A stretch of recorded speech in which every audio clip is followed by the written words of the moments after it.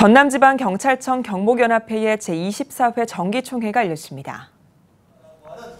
설교를 전한 전남 경목연합회장 모상년 목사는 전남 지역의 모든 교회들이 경찰 선교를 위해 화합해 나간다면 건강한 사회의 버팀목이 될 것이라며 믿음과 헌신의 자세로 땅끝까지 섬기는 전남 경목회가 되길 바란다고 전했습니다.